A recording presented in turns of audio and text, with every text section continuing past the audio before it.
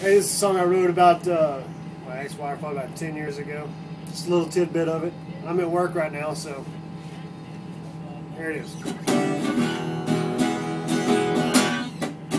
She asked, do I look fat? I can't lie to you.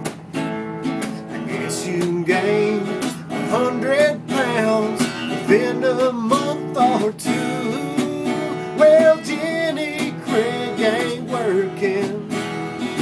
Guess you ate her too. As for the dog and cat, well, I don't have a clue. So I ask myself, what am I gonna do now that you're gone? Baby,